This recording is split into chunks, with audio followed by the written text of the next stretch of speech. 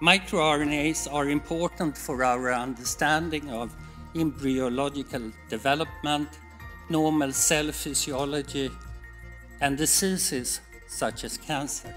In the moment, I'm very aware that this presents uh, an opportunity for me to um, speak to some of these issues that uh, I've been trying to address, or you mentioned about the importance of pub- public support of research, the importance of um, of the, the best kinds of leadership in institutions, you know, the importance of collegiality and the sharing of information amongst scientists.